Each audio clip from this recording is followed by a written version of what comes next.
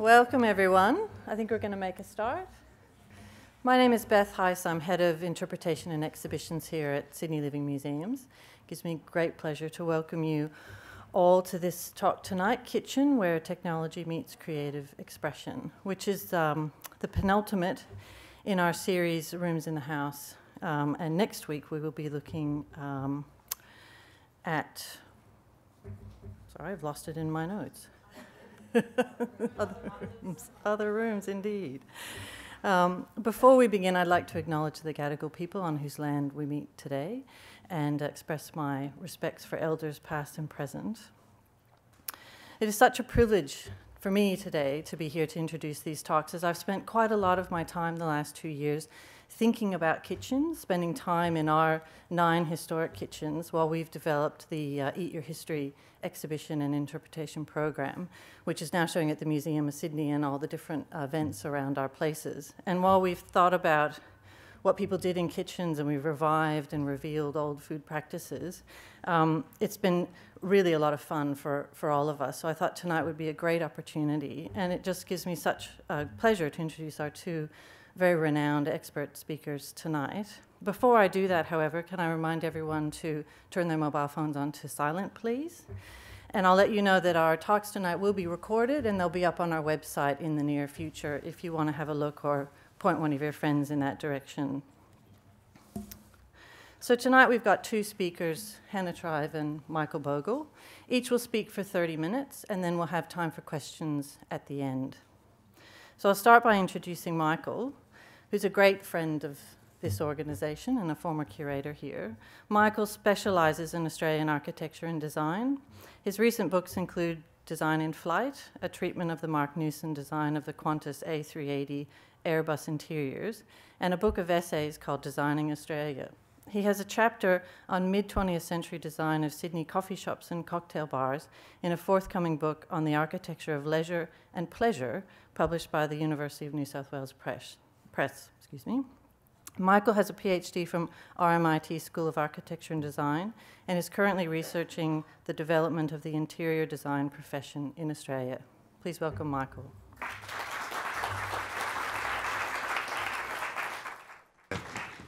Thanks very much. Isn't a funny title for a book, Architecture of Leisure and Pleasure? But they, they haven't actually decided what the topic is yet. yeah. Look, my, my talk tonight is about kitchens, but I have to say, to sort of paraphrase Shakespeare and Mark Antony, that I come really not to praise kitchens, but to bury them. So what I'm going to do is, is walk you through what I see as the evolution of the kitchen and make some very sharp pointers about where I think kitchens are going to go. And you may not agree with me, but don't be violent. we have security here.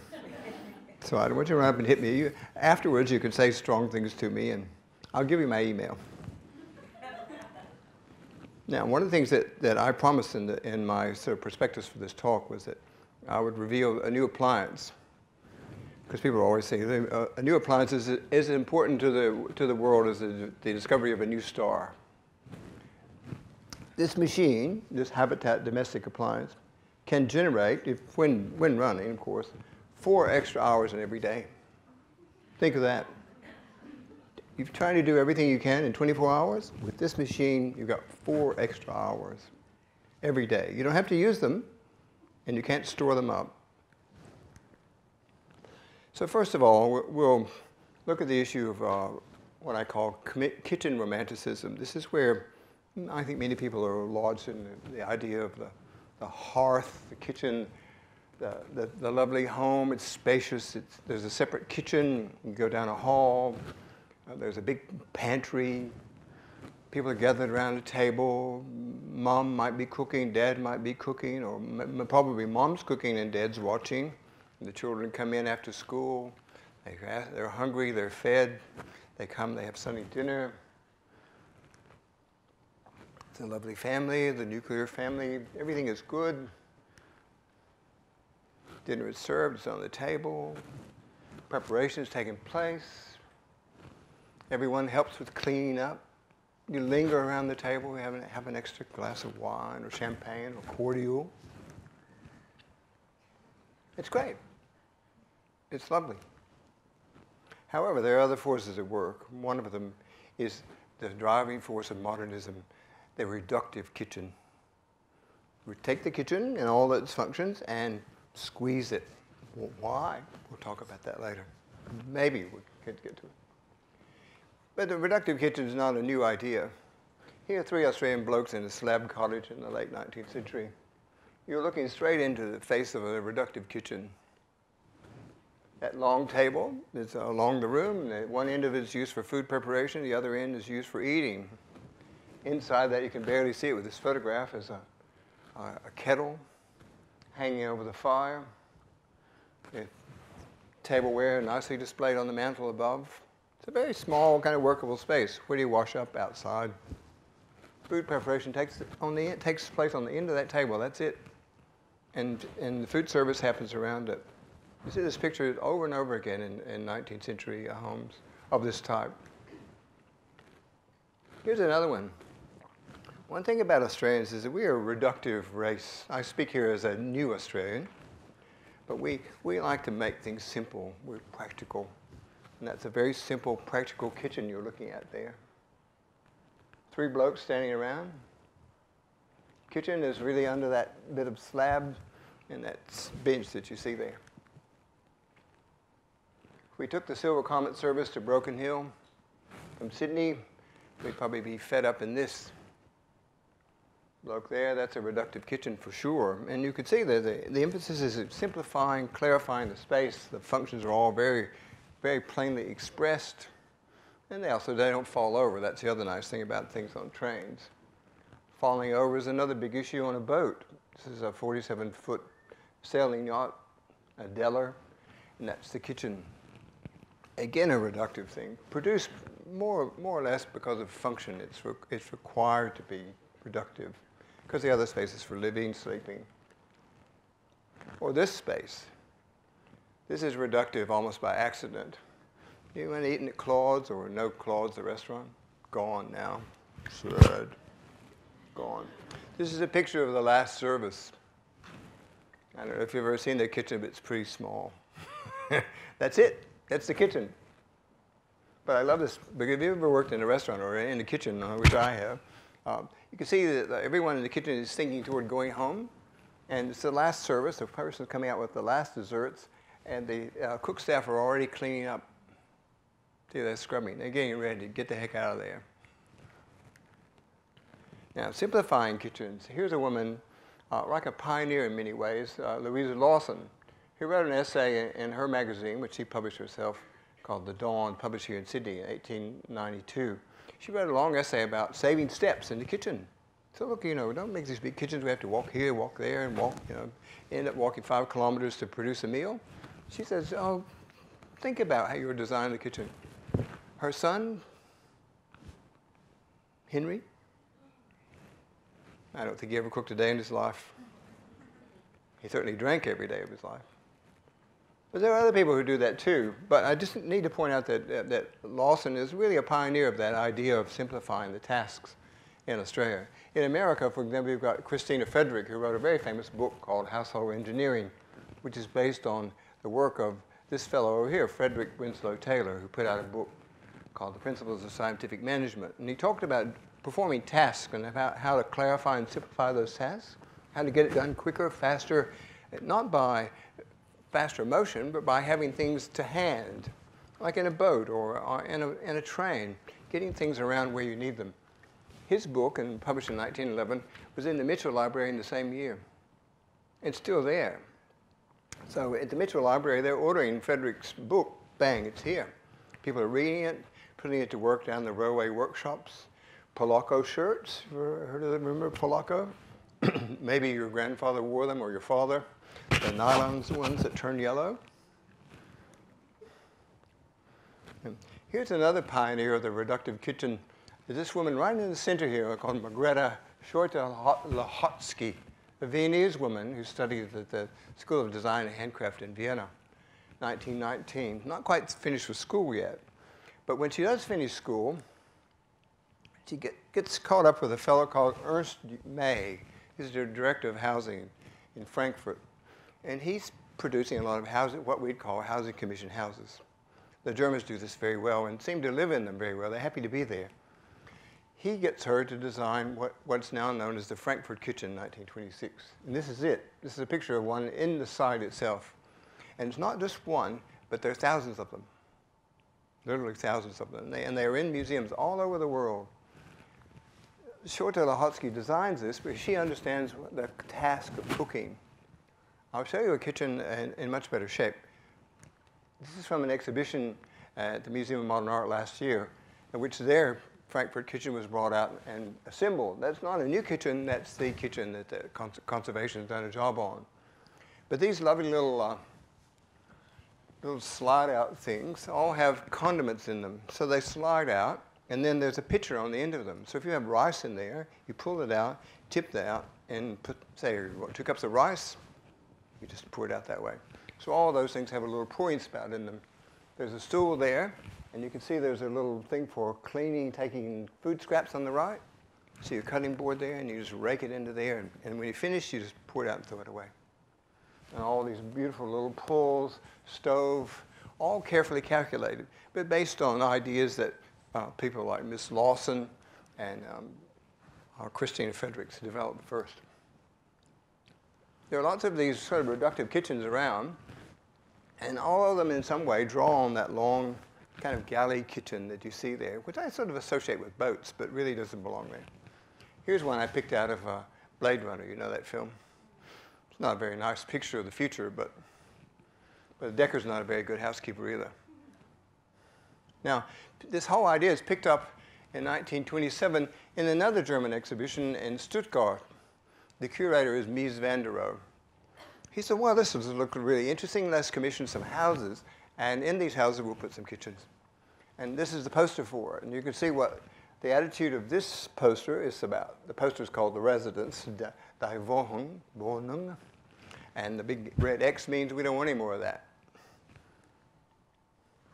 One of the kitchens designed in this uh, exhibition in uh, Stuttgart is called the Weissenhof Kitchen. You can see why it's called the White House Kitchen or White House Exhibition. It's by a Dutchman called Oud. You always see this picture of uh, Oud's houses because it's, you think, gosh, isn't that neat? And I've often wondered why. Why do we always see the same picture over and over again? And I realized when I understood how the whole place worked, this is the pictures that architects take. They like this, this elevation, but it's actually the back door. That's the kitchen designed by Oud. Now I ask you, if you've spent any time in the kitchen, what do you think about this as a kitchen idea? That work for you? What is it? What's missing? Cupboards. Cupboards. Storage. Where's the food? There's not much there, is there? I see a few little condiment pans up there, but that's pretty spare, isn't it? Do you think Mr. Oud does a lot of cooking? Probably not. This is why we always see the same picture of our uh, um, block of flats or units. This is the front. Modernism doesn't like a mess. But this is how people live, but that's not what modernism likes. Modernism likes that.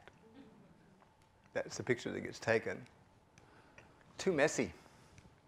Modernism is tidying, it's about tidying. Now, after this Stuttgart exhibition and the, and the, Frankfurt kitchens, which have been widely accepted, in 1931 they have another exhibition uh, called the German Building Exhibition in Berlin. Who goes to this? Sydney Ancher. He goes there, looks at everything. He's very inspired by Mies van der Rohe, but he's not inspired by the kitchens he sees there because he never really made a, what you call a, a classical modernist kitchen. But a woman was exhibiting there called Lilly Reich, and she did a kitchen for an apartment, and here it is. This is an apartment kitchen called a cooking cupboard, in which is, you open that up, and inside is everything you need, and you close it up, and you're back in your studio flat. Very clever. Very clever. Germans don't mind living in flats, and in Germany, in uh, developed flats, you, when you move, you get to take your kitchen with you. you. You design your kitchen, you build it in, and when you move to another flat, it's yours. So the next person coming in, they just got an empty hole there with the plumbing. This is a, a movement, I suppose you'd say, called minimum existence. You only get what you need. Makes sense, doesn't it? You only have as much kitchen as you need, or as much house as you need. Here's Lilly here, Lilly Reich. And here's her consort, Mies. That name sound familiar? Mies van der Rohe. When you see this picture of Lilly Reich and Mies van der Rohe, what do you think is happening there? I've been so puzzled by this picture. They look like they're having a good time. they're not happy. Well, what's wrong? What happened? What's she thinking? I hate this boat. and what's he doing with that pose? He's got his hands in his pockets. Yeah, you women know that pose, don't you? If, you, if you're, you're married to a bloke and you're thinking, what's he? What's he thinking? I'm just going to ignore this until it goes away. Isn't that right? Isn't that right? That's what he's thinking? Oh, God, you know. Now, when people started to develop these flats ideas, of course, in England, who, they love to make fun of everybody. They, uh, uh, uh, an artist called Heath Robinson did a series of cartoons for the newspaper and wrote a wonderful book called How to Live in a Flat 1936. And he takes aim at this whole flat idea of super efficient flats, his existence minimum idea. And this is one of his kitchens. You see, everything is collapsible, like Lilly Reich's kind of kitchen cupboard. The baby's up there, and what could looks like a drawer pulled out. Uh, there's a whole range of wonderful illustrations. You find this book in the library sometimes, it's great. Now, we've seen this reductive process taking place. Now we're going to look at vanishing tasks. What happened to them?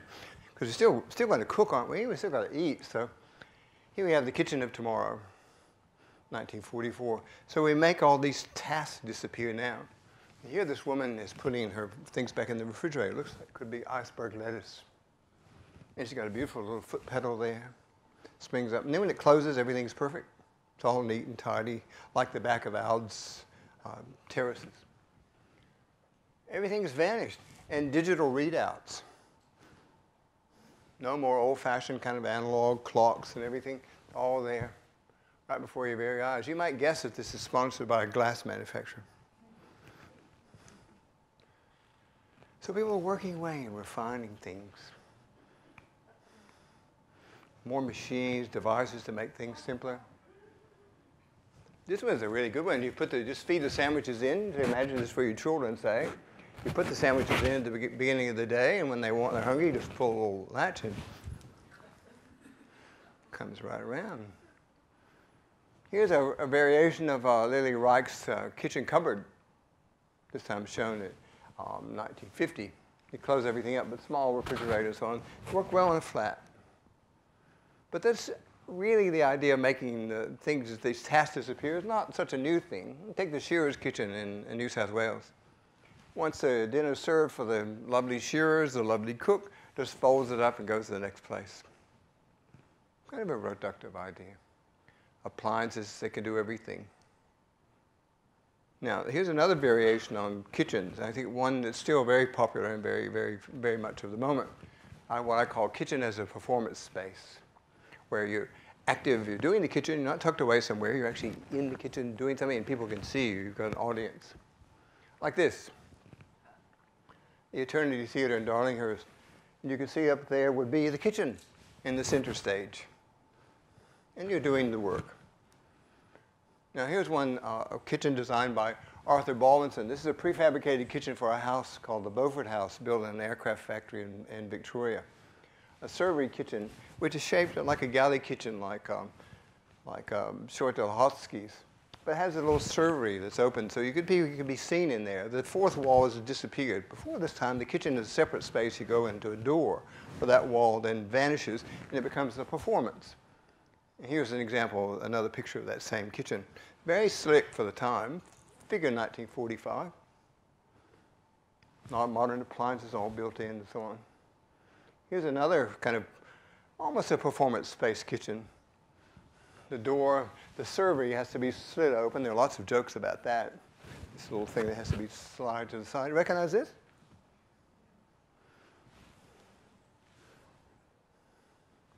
Nineteen forty-five designed by Marcel Breuer. Breuer is an interesting character who started off at the Bauhaus as a student and then became a teacher. Just so good. And this is a group of his followers. or uh, actually students. Bauhaus at the time, 1928, is probably the first design school to have a very high percentage of women actually in training. Oh, I mean, really high percentage. It changed the whole complexion of the place. This is another variation of that Breuer kitchen. Recognize this one? Same photo, same servery.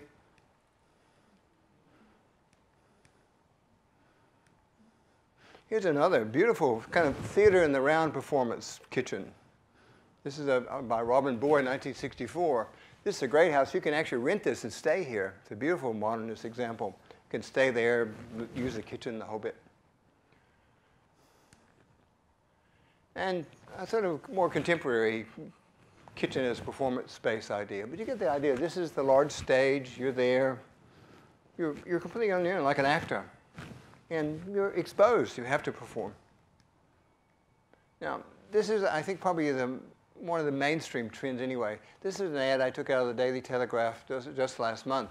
And you can see what's happening in these suburban houses that are being advertised there. Look in the back there. What's that called? Can you read that? The Great Room. The Great Room. Sounds like something from sort of Jacobean England, doesn't it? And down at the end of the Great Room is the kitchen. The kitchen as performance space. The audience is here, and there you are on stage. Here's another one in the performance space mode by Alex Zahn, or Zahn Architects. This has been the paper. I'm always reading the Wentworth Courier. I'm really fascinated by what, what you see there. And here we see this is Carlotta Street, Double Bay. This remarkable house, you can see it here. But take a look at the kitchen. Kitchen as performance space. So here we are in the living room, uh, some distance away, several meters away from the kitchen. I mean, quite a distance, really, isn't it?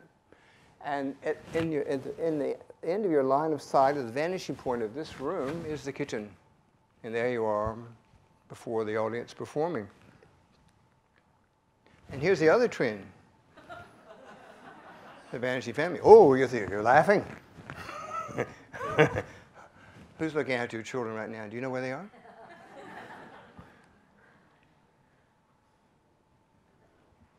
the family on holiday.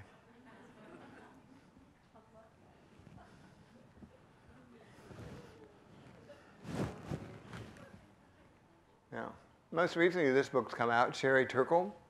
I encourage you to read it because it, it talks about this same phenomenon of the vanishing family.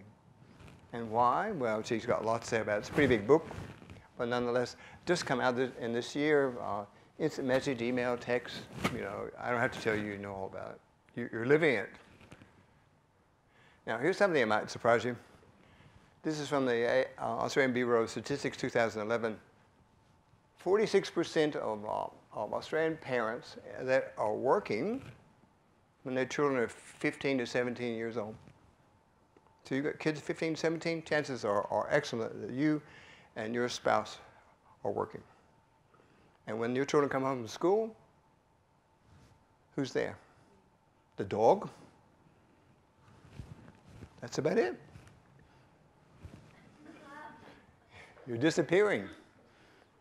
Now, here's the other pressure the disappearing room. It's, oh no, room, the kitchen can't disappear because we've got to provide food. We've got to do things. We've got to make food. We've got to have, we've got to do something. It's a bloke's hands. But on the Airbus, where's the food preparation there? So popular is this Airbus and this whole idea of an in-flight kitchen. Then in Taipei, there's a restaurant called the A380 restaurant. Where you can go pretend like you have an airplane meal. think of that. I don't think that Neil Perry had anything to do with the Qantas food preparation. Do you? I mean, really? I'd never seen him. NASA, the space shuttle. There's the kitchen.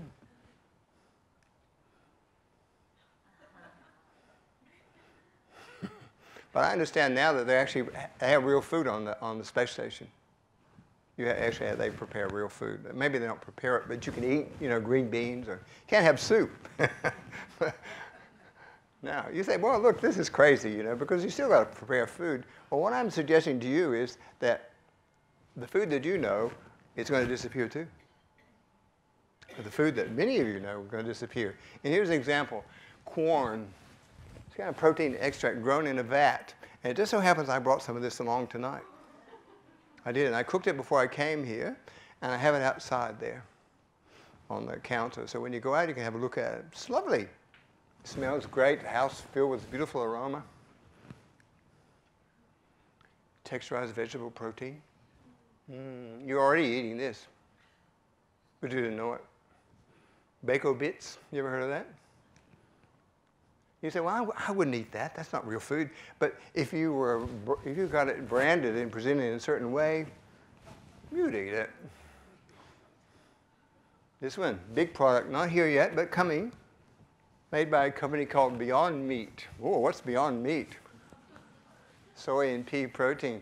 And it's not pretending to be uh, vegetarian food, it's chicken, but not as we know it. Or this one, you've seen this, it's been around for a long time. Ocean sticks.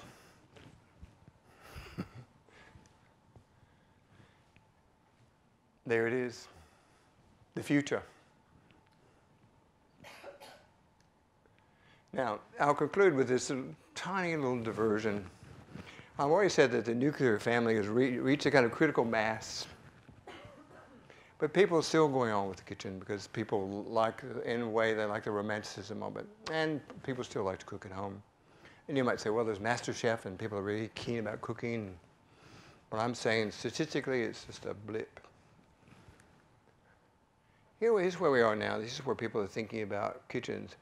Not Hannah Tribe, because Hannah's got a, got a different aesthetic. But this is the, uh, this is the latest thing in the kitchen magazines sculpture kitchens. He says, here's one in Military Road by um, Tony Owen. See the kitchen down there, the big cabinet around. You might know this house. This one. Kitchen as art installation. This one. You see, again, this is what's on show now. Impossible. Yes? Barangaroo. That should do something, shouldn't it? That big thing. should, you know, it should turn. Or, I don't know, give you a massage, or I don't know. It should do. It, it just looks like it should do something. Maybe it, maybe the top swivels and there's something inside. I, I don't know. It's just a really big thing. But you can see that whole kind of sculptural thing at play. Look at this one and look at this one.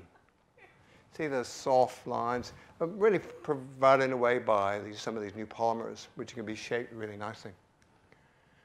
Sculpture in the kitchen. Anyone eating there? Now, I'm going to conclude. I just, just put up some things here, uh, just some thoughts and ideas. Think places where you might go if you're interested in following this along, or you think he's crazy. I'll just read the I'll read the books and I'll find out he's wrong. Bee Wilson, Consider the Fork. Uh, just a nice history of, of cooking and eating. Just come out. Uh, this Turkle book about Alone Together, which is where I say the nuclear family goes critical. And this one over here, which is uh, Aesthetics of Waste. And up here, this Museum of Modern Art exhibition in 2011, uh, which is probably the last sort of big summary of uh, a design-led kind of literature. Big show, that is where that uh, uh, Shorty kitchen was shown. And lastly, this wonderful book by um, Heath Robinson in 1936. It's available in reproduction. But just to finish it off, this book, Room Plan versus Free Plan, is a a great philosophical study and a visual study of the collision between those two great tributaries of modernism rooms versus open plan, big room or lots of rooms, the, you know, like the great room. So it's a nice one to look at because it contrasts uh, uh, Adolf Loos, the Viennese architect, uh, with Corbusier, the French architect. So it's a nice kind of struggle, just using their work. Thank you.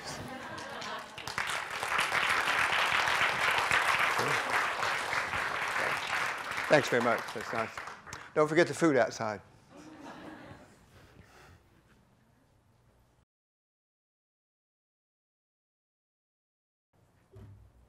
Thank you very much, Michael. I don't know, I don't think I have a performance kitchen.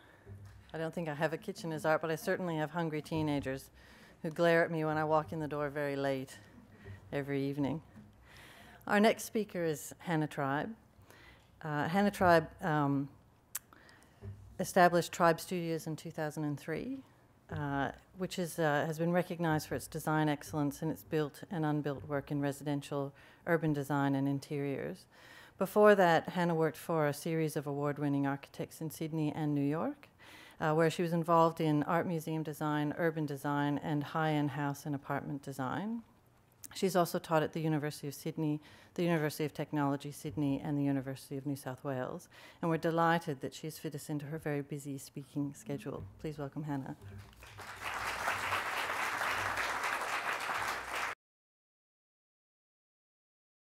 Thank you, Beth, and thank you, Michael. That was amazing. Um, I'm going to talk about my experiences of kitchen and then illustrate with some um, examples from our portfolio. But to begin, I'd like to um, reminisce. So, my most pleasant golden hued, slow motion memories of early childhood are all set in a kitchen with my mum. There's licking the wooden spoon with the meringue mix, helping to chop up ingredients for, for dinner, and lots, lots of mixing. And most specifically, there's washing up after the Christmas Day feast. We're in the kitchen of my maternal grandmother in the country. And all the boys, all, all my cousins are all boys, they're all outside playing cricket with the uncles, except, of course, Uncle Robin, who's asleep in a giant floral chair with his mouth open. And in the kitchen are my mother and her three sisters, rolling up their sleeves and tackling a monumental pile of dishes with great gusto and good cheer. This is the site of gossip, catching up, support during illness and tough times. Stories are shared, women cry, and then they make each other laugh. There's a kind of humorous competitive martyrdom in this family kitchen around workload, and it includes a perverse disinclination to use the dishwasher. And at the end, when everything's gleaming and everything's put away and clean, another year has been given a big, feminine, emotional full stop. I don't want to dwell on why in the 1980s the women had done all the cooking and then proceeded to do all the washing up. Suffice it to say that on any other day of the year, my aunts wouldn't have put up with that for a second, or my mother. Rather, I'd like to concentrate on the notion that the kitchen's on the move. It was a place of nostalgic feminine energy and nurturing energy. It's, but it's now no longer necessarily women in the kitchen. It's also moved physically from the outside of the house to the inside of the house. And along that journey, it's become a strong symbol for domesticity and nurturing, but also for a kind of luxury, glamour, and opulence. I'll give some examples of kitchens from our portfolio of work and finish up with some really pragmatic tips about appliances, materials, and design. So the kitchen is on the move. In Victorian houses, we see the kitchen way out the back, and it's often in a separate structure which hides the work of the kitchen from the formal rooms of the house, and it also stops the kitchen from heating up the rest of the house through the transference of heat through masonry. Here's a kitchen. it's the engine room, it's really hidden out the back. And in a modest terrace like this one, the kitchen would have been the domain of the woman in the house. Whereas in larger houses, the kitchen was occupied by female servants. And that separation from, of kitchen from the rest of the house was very much about class. Then last century, there's a, another a shot of a familiar house in the Rose Seidler kitchen. There's huge shifts in um, social change and in technology see the kitchen moving inside. So during the modern movement, the kitchen becomes adjacent to the dining room and it's no longer fully disconnected from the house. The staff have left, mum's in the kitchen, and everyone's pretty proud of the appliances. It's still a separate room, it's still a female do- domain, but it's conveniently located near the dining room now, and it's full of whiz bang appliances, making the toil of feeding one's family much easier. Now the kitchen's moved again. It's centrally located and it's completely open plan. The kitchen is now the focal point of the house, or the performance zone, as Michael said. It's fully open to the living room and the dining room. It's a room on show. Its surfaces are often rich and opulent, and its appliances have designer labels. And I think this illustrates a really odd transition in the preoccupations of developers and the market that they're attempting to meet. There's this radical elevation in status of the kitchen. So, up until recently, um, developer driven um, houses, suburbs, um, invested all the detail in finishes and in the public face of the of the building, so that houses were contributing to streets, making great places to be. So, for instance, instance, in a Victorian terrace street, you see all the budget in the house being spent on the front elevation. Or similarly, in a Federation Garden suburb, the priority is on the face of the street. And aren't 1950s and 60s bungalows that Robin Boyd would have called featurist and appalling, I think they're starting to look nuanced and interesting um, when they're compared against our contemporary vernacular builds. So the focus now is not on the exterior, it's on the interior of the house and streetscape be damned. And this focus on the interior, I think, is no more keenly applied than to the kitchen. This is the kitchen in the same house. Um, the exterior is all regular off the rack items. There's no attention to proportion, not much attention to detail. Big garage door to the street, a couple of classical moments, fibre cement sheeting, which is all fine. It just seems a bit incongruous when you move inside and see the kind of marble castle opulence in the kitchen. Sorry, I need to go back. Um, so there's a modesty to the exterior and a real over the topness to the kitchen, which I think, in a sense, is a return to the logic of the Romanesque church. The exterior is modest, like the shell of a nut, whereas the interior is a wild opulence of gold mosaic tiles and structural acrobatics. The Romanesque religious metaphors about spiritual interiority, it's partly church propaganda for the illiterate and probably pretty miserable congregations, and partly a really beautiful idea about escapism, about this spiritual life being better, and about something to look forward to. So back to this house. It has the same diagram. It has a rough hewn exterior shell, and it com- contains a gleaming, polished, refined, bespoke, heavily designed, heavily crafted religious experience, the kitchen. So I think this change in kitchen status has coincided with enormous social change and technological change. Socially, there's the obvious change in gender roles. Women are no longer shoved out the back in the kitchen, imagine in that Victorian terrace house, to do all the food prep and the cleaning labour by hand. Of our clients, I'd estimate that in families with children, the lion's share of the cooking is typically done by the dads. Certainly in my home, this is my home, um, when we divvied up the chores 50 50, Malcolm bagged all the creative and rewarding work of the cooking before I'd even realised what had happened. The other major social change is the focus on cooking. Malcolm grew up in Scotland on a diet of deep fried pizza and warm lager. His mother made a weekly dish called mince, which was just mince. it was boiled mince. So, my mother's a really adventurous cook, so I was totally mystified to hear about this mince business. But it seems that it's quite common. Did anybody else's mum make mince? um, so, the kind of kitchen in which you'd produce mince is very different from the kind of kitchen in which Malcolm serves up thrice cooked cauliflower and caper salad as just a cheeky Tuesday night meal. And it's particularly different from the kitchen in which we prepare huge feasts for large groups of friends. So now our appliances are abundant and they're really whizzy and they do great things. Food preparation is incredibly complex and it's also competitive. It's creative and it's rewarding. But at the same time, we're seeing more instant food and more takeaway. So while people are in their whizzy flash kitchens whipping up pancetta from scratch or cooking cauliflower three times, a more unflattering portrait of many Australians would put them on their sofas near their flash open plan kitchens, eating McDonald's off their laps while watching Master, MasterChef.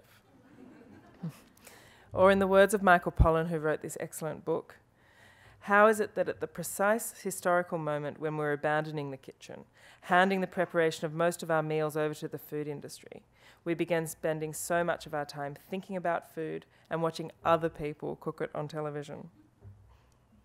In this portrait, the kitchen pure, is purely an expression of status. It's a commodity you purchase, and you look at it and you impress your friends with your whizzy kitchen. It belongs to that trend of real estate agents who name the brand of appliances in, in a for sale ad. The kitchen's the focus of the house's living spaces, and all the clients' excellent taste and in materials and in design is on show in their kitchen. Appliance brand is some kind of reflection of self, like a European car or an IT handbag. Or, more flatteringly, this kitchen is the dream of more leisure time. We're all super busy, and dreaming about a new, super efficient, really flash kitchen with loads of ingenious labour saving devices, I think is a kind of dream about more time in which you could cook more and you could nurture your friends, your family, and yourself. So the kitchen's a complex little room. It's a space of nostalgic feminine energy, certainly for me. It's a space of nurturing and also of creativity. I think it's a mythical space in which we imagine more time, we imagine a more leisurely future. It's also full of joinery and it's therefore a room really dense with design input, with bespoke details and attention to all the little moments. It's very often the focus of a house, and therefore it's where the values of the occupant are expressed most clearly. So, in this context, how do we as architects create kitchens? I'll talk about four Tribe Studio projects um, tonight. We very rarely design just a kitchen, so they're all um, kitchens within the context of a greater house design. In a talk I gave recently, I argued that a bespoke house was a kind of portrait of the client, um, that it expresses the personalities of the clients who commission them. So, if that's true, then the kitchen is probably the most telling detail in this particular portrait. I'll start with House Boon Murray. This is House Boon Murray. Um, and it was designed for this family. The house is a mixture of charming old bungalow and radical new addition. The linking element uh, in the scheme is joinery throughout, which talks to our clients' interest in modern furniture. And the kitchen is the most significant joinery element in the house. At the functional level, this is a home that's very much about starting and having and raising a young family. One of my major shocks having kids was the degree to which I became housebound. It's my working mother diagram. And more than that, kitchen bound.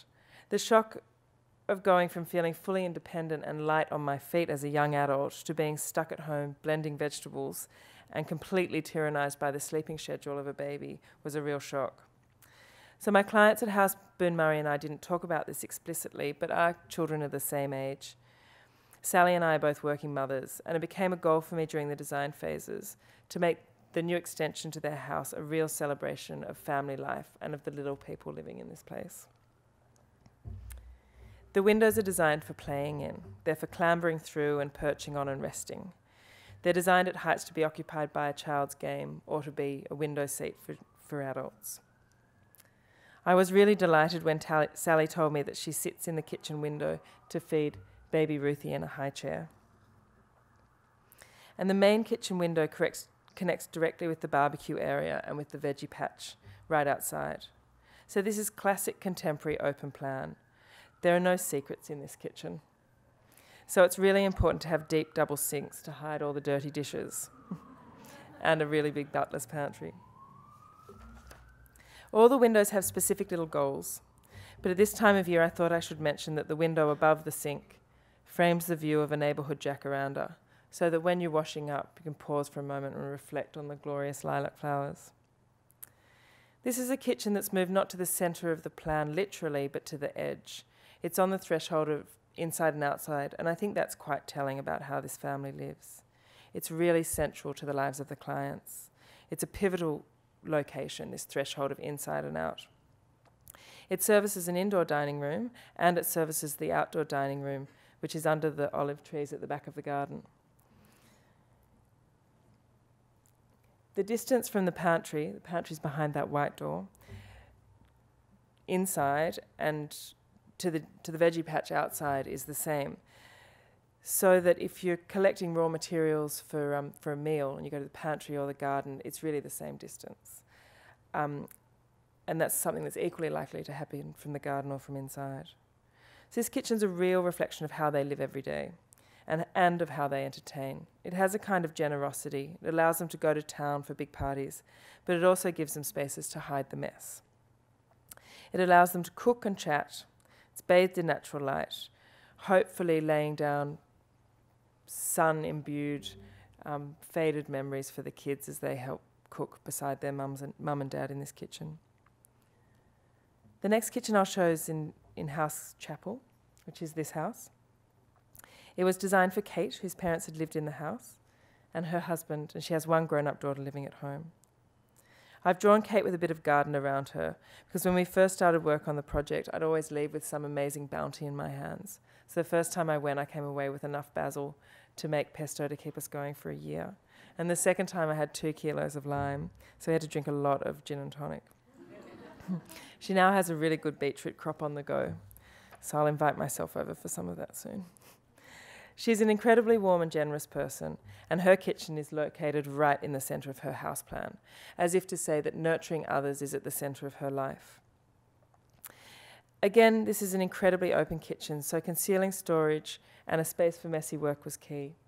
So that that those three doors bifold open, and there's a kind of workspace and, and storage behind. The ceiling over the kitchen soars to a high level north facing skylight, and in fact, the highest, most dramatic ceiling in the house is over the kitchen. So it's given the place of the most symbolic importance, which you can see there in section. And this allows a beautiful warm sunlight to penetrate deep into the room so that the kitchen glows all day long. This kitchen's a real hub in the house. It has all the cooking stuff, but it's also a place for watching TV, for listening to the radio. This is where you get onto the internet, and this is where the phone is. So it's a real centre for the informal activity of, a, of an adult family. So it's a classic example of the kitchen literally moving into the centre of the plan.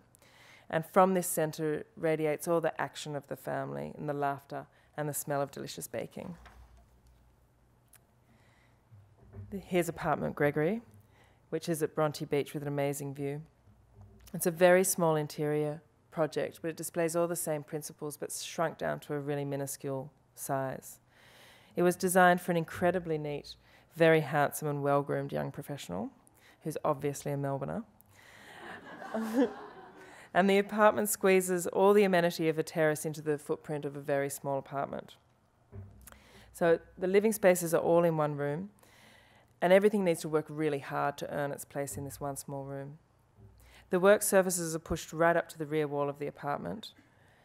And then on the side wall are a series of sliding, sliding walls that conceal a study, the laundry and wine store, and pantry and fridge. There's a really large kitchen island which is free from apartment from appliances and fixtures, so that can double as a dining table for eight people. And the island has a marble bench top because our client likes to make and roll his own dough and create pastry and bread. On the far wall of the room is a bookshelf which has a full on bachelor level audiovisual system, which is concealed.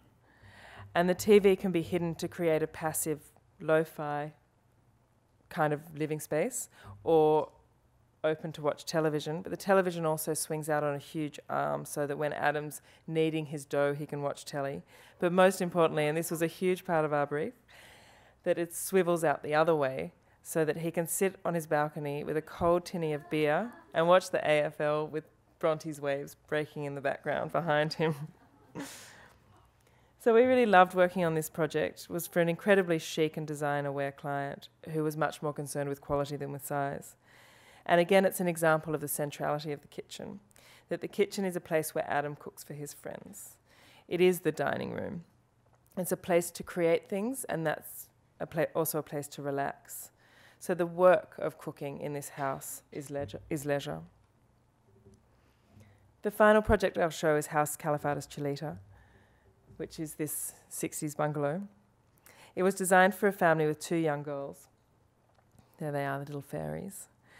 Um, and we basically added a new kitchen, living, dining room out the back, which is a really common kind of Australian renovation, the new living space.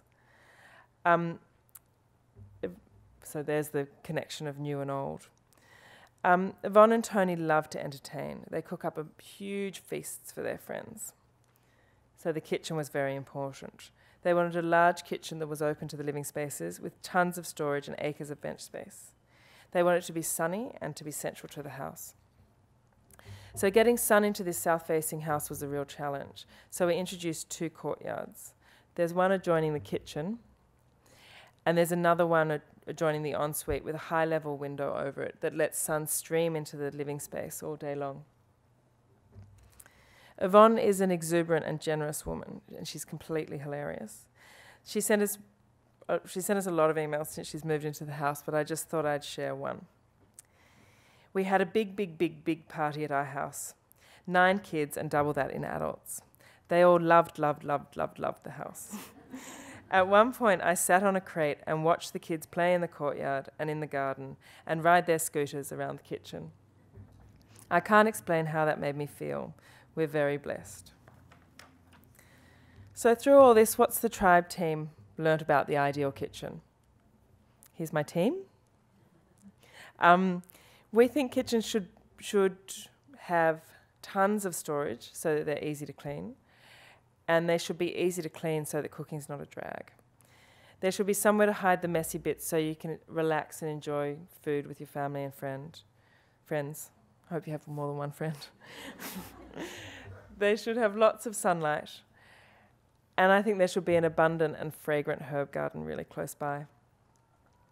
As for the nitty gritty pragmatics, I have some advice. Does anyone want to hear nitty gritty pragmatic advice? Okay. Appliances, you need a good extractor and a good oven. An okay gas top is perfectly adequate unless you cook a lot of Asian food, in which case you need one of two companies who make an excellent um, wok burner with a very high power output. Induction's terrific for cooking, but you need to check that your saucepans will work and also make sure you don't buy a cooktop that will use an exorbitant amount of electricity. We when we have clients who do a lot of Asian cooking, we often wind up putting in an induction cooktop and just a single super duper wok burner. Um, a good extractor is a great investment and don't skimp on the dishwasher. As for the durability of materials, polyurethane chips, marble chips and it stains, laminates chip. Granite is almost indestructible, except in extreme cases of heat erosion, where it will crack all the way through and for the full length of your benchtop. Um, it's also really out of fashion for some reason, I don't know why. Stainless steel scratches, and it does really weird things with the re reflectivity of light. Solid timber bench tops require constant maintenance. Timber veneer cabinetry can chip. Solid timber cabinetry costs a fortune. Plywood doors can cup, and some people think they look cheap. Corian is a miracle. All joinery handles will annoy you somehow. If they're too big, they get in the way. If they're too small, they make your hands feel kind of crampy. Finger slots get full of all dropped bits and pieces of food, so refer to easy to clean above. So, with that in mind, I think it's worth remem remembering that if you cook, you will damage your kitchen. And therefore, it's best to select materials that age gracefully that register their use in some kind of poetic way, like an old chopping block that's all um, eroded through time and use. So, to conclude, I'd like to return to my aunts in the kitchen at Christmas. In an evangelical madness for positive psychology, one of my aunts once argued that the keys, the three keys to happiness are one, something to do, two, something to look forward to, and three, someone to love. I feel like you can achieve all of these things in your kitchen. Something to do is the preparation. Something to look forward to is the cake coming out of the oven. And all of this can be shared with someone you love. Thanks.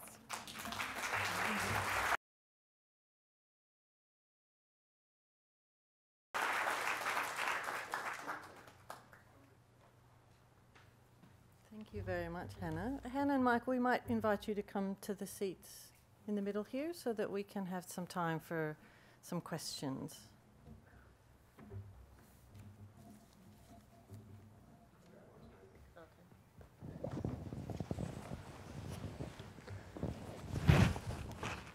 We just ask you to talk into the microphone, please, since we're recording. Thank you. Um, it's for Hannah.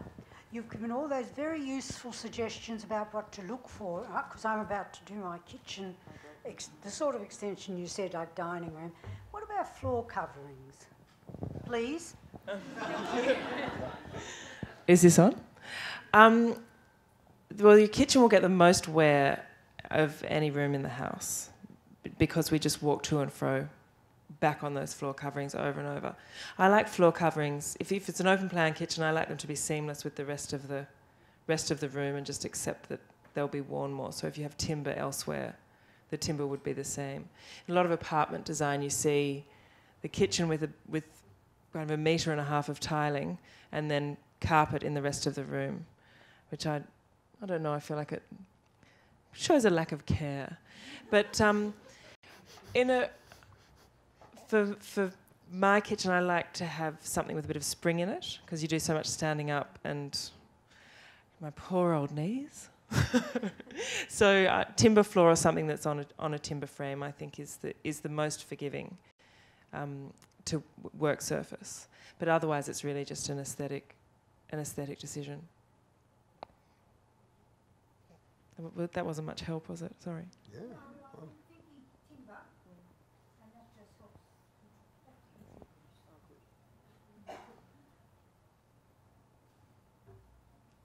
Other questions in, in the back there?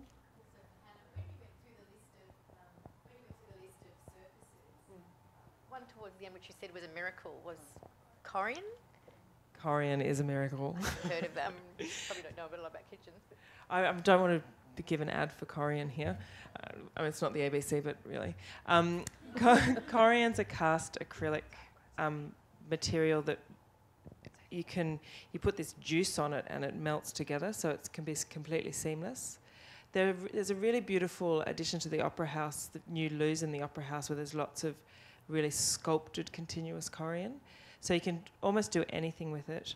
The um, it's seamless. You can get Corian sinks made into your bench top, and we've only ever used white. I'm a bit scared about the dark colours, but white doesn't show any scratching. You can give it a really good jiffing. I love Jif. My mum's here. That's genetic. We love Jif. Um, so white, yeah, white Corian's just an amazing material. Really, really durable. Some, some of the sculptural th- benches I was showing are made of that same sort of material. There's a question over here. Um, firstly, my mother did wonderful things with mince, so I'm eternally grateful to her. I'd come home as a 16-year-old boy and tuck into some cold mince. But, uh, so, secondly, um, we don't even have a microwave, but what do you see as the trends in terms of appliances? Somebody showed me something I think called a thermomix the other day, and do you see, how do you see appliances coming? You had an illustration of one to start with, and uh, so Myself? Sort of uh, because I'm because I'm pitching the um, the faux food kind of trend. I'm I'm seeing a, a sort of microwave convection kind of merge, something to not only heat it up but make it look edible. But because I, really, I mean, I think perhaps not in, in amongst this audience, but I think that there'll be a lot of people eating that food soon. I really hate um, one task only gadgets. So you can buy a popcorn cooker. It's like, what is wrong with a saucepan? but really, the um, and the bread makers. It's like, well, oven.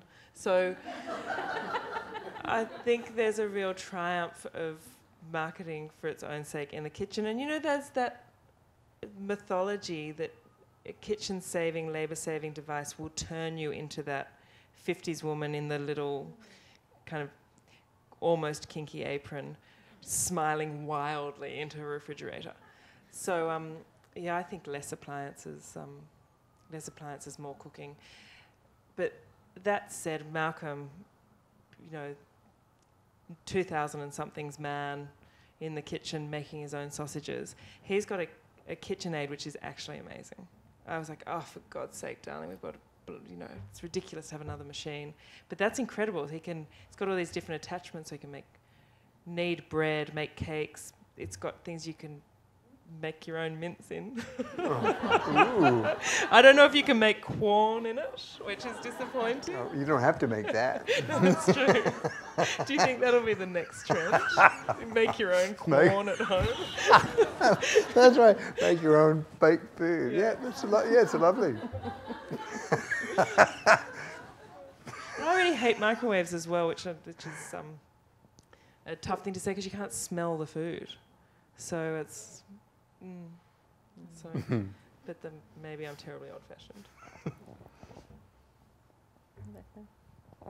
Hi, thank you. That was really wonderful uh, talk from both of you. I really enjoyed it. Um, I just have a question about cookbooks. Where do you keep them in the kitchen or in the study or on display? Do you use them? Do you get food on them? Um, or are they for reading in bed? Ooh, okay. Well, I, I want to comment about that business because we, we've talked about this at home a, a bit, and we did an exhibition at the Hyde Park Barracks some years ago and, uh, called the Domestic Revolution. We looked at this idea of the computer in the kitchen, the smart, the smart kitchen that told you it was time to buy more milk, and did didn't work.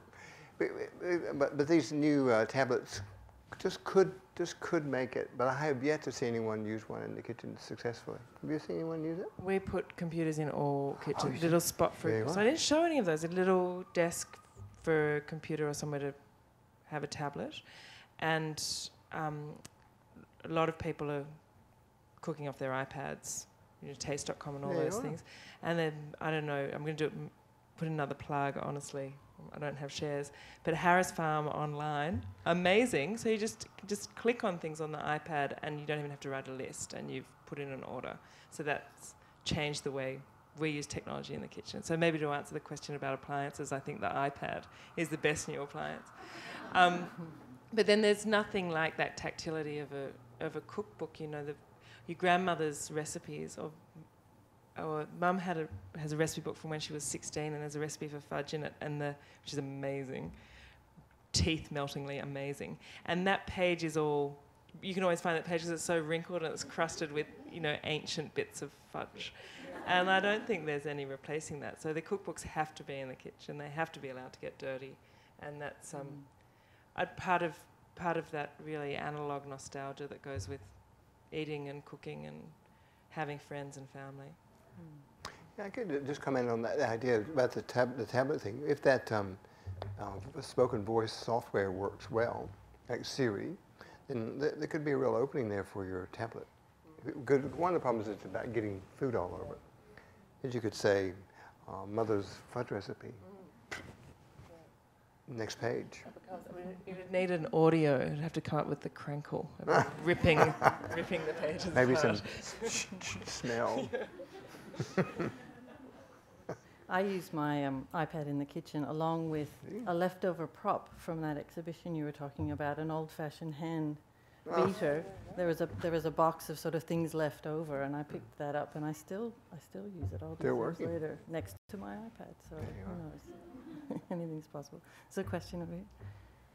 Um, hi, so I'm, I'm Lisa. Thank you so much for your talk. Now, I recently went to Singapore to visit some friends, and I was really astonished that they had an indoor and outdoor kitchen, a wet and I think it said a wet and dry kitchen.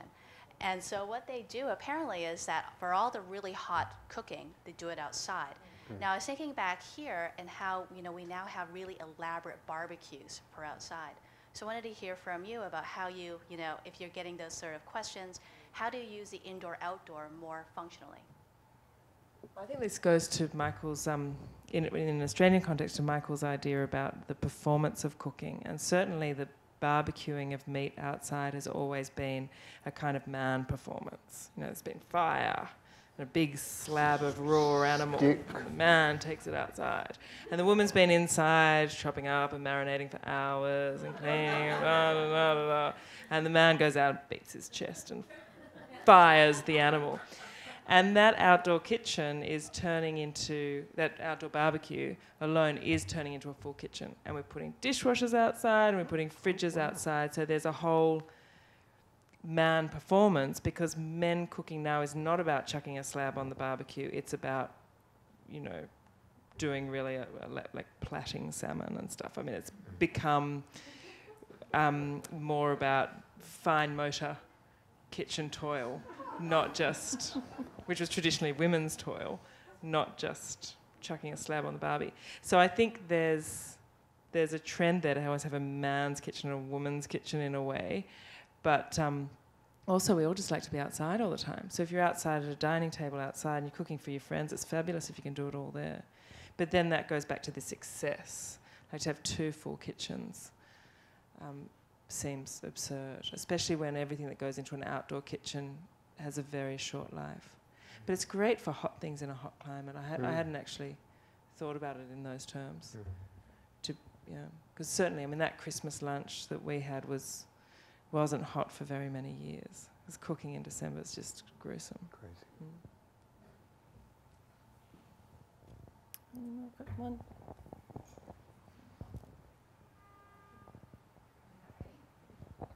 Thanks. Thanks. It was great um, to hear both of those presentations.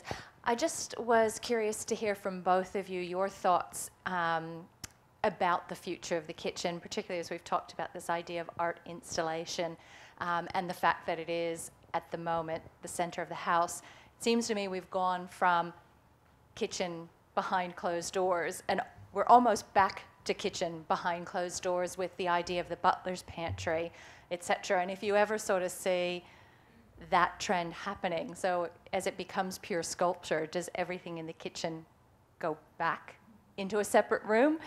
Or are we going to continue to see this um, growth of things hiding behind closed doors, some being out in the open? Just curious in your thoughts and ideas of what's happening there.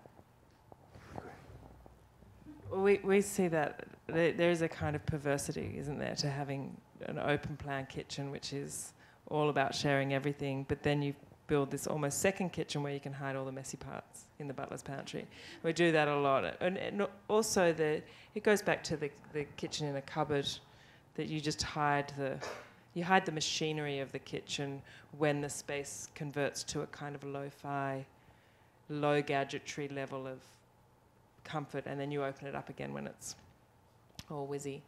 Um, so I think um, kitchens are we're cooking a lot less, and I think kitchens in apartments and inner city space where real estate's at a real premium will continue to shrink down to almost nothing.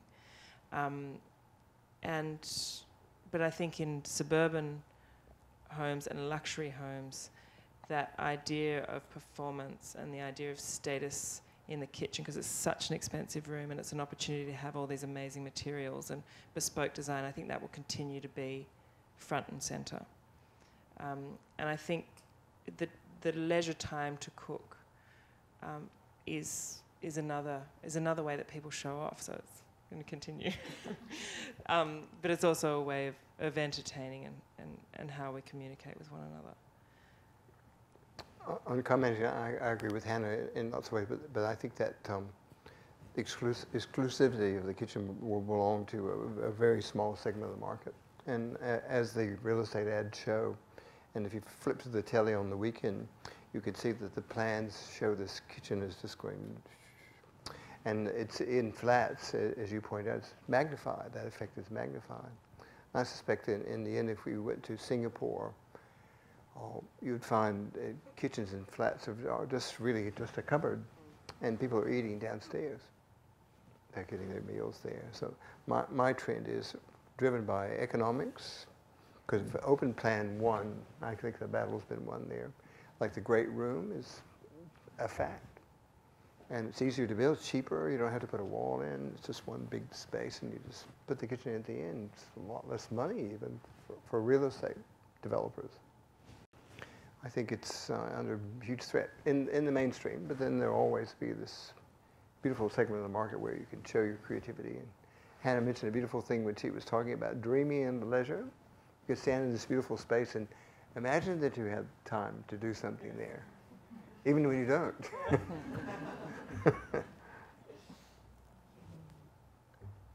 Um, thanks, Hannah and um, Michael. Great talk. Um, I spent the weekend packing up uh, or getting my mother's house for sale in Adelaide, and it we'd lived in the house for 50 years, and seven children. And I thought to myself as we were scrubbing that kitchen and getting it up to kind of sale, um, to get it sale potential, that how many dinners had been cooked for um, five hungry boys and two hungry girls. And I thought to myself, very little change had been made in this kitchen. You know, it has got an added microwave and, you know, but a very basic stove and, and the rest of it. And I thought to myself that Australian obsession with changing the kitchen every, I mean, Hannah, you might know every seven years or eight years, and what that means in terms of waste, you know, for, for us as a, you know, in terms of sustainability and the rest of it. And I wondered what, in, from your experience, how often are people changing their kitchens and um, why do we do it? Because it seems to be an Australian obsession, renewing the kitchen and bathroom. Um, I've heard that statistic as well, that it's on average every seven years, which just seems appalling, uh, especially when you think of all the toxic glues that go into um, standard kitchen joinery. Um, so we do a lot of um, kind of substantial renovations to old houses, and if there's a kitchen that's from the 20s, it's fine. It's, it's still in perfect work, working order. The, uh, even the hinges will usually still work. So there's that sense that we've lost a quality and craftsmanship. So a, ki- but a kitchen from the 80s is completely cactus. So 60 years older and it just won't, won't go anymore. The laminate's peeling off. The um, nickel hinges are all gone.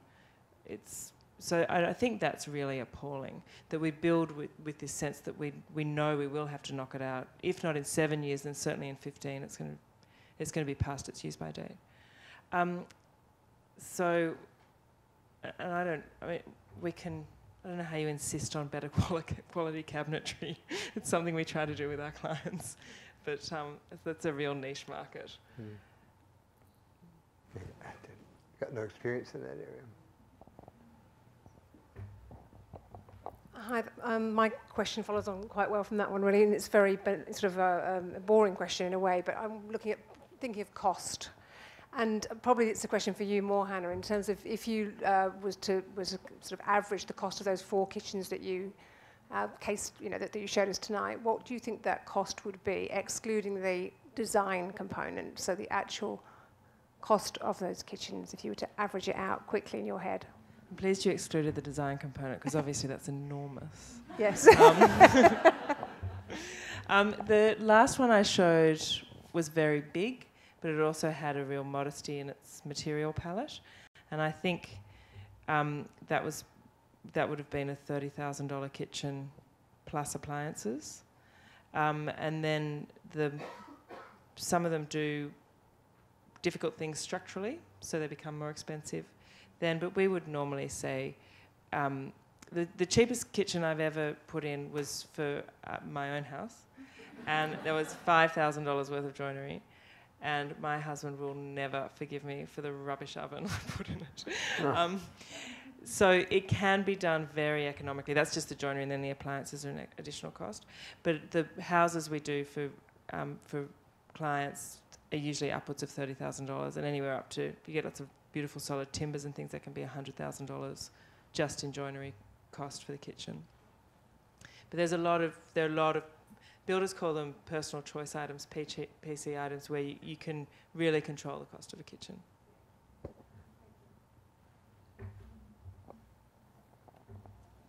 No more questions. Well, please join me in thanking our speakers tonight. Thanks. Thanks very much. Really, really wonderful talk. And um, oh, here's my notes about next week. I was looking for those earlier. Next week will be our final um, talk in this series. I will be looking at those other rooms, from smoking rooms to man caves and everything in between. It sounds absolutely wonderful. With Megan Martin, who is our head of collections and access, and Mike Scott, the managing director of the Treadstone Company. So I hope you'll join us then. There's a few little bits and pieces on your seats. I hope you can find time to join us at some of our other properties and events. And thank you very much for coming tonight.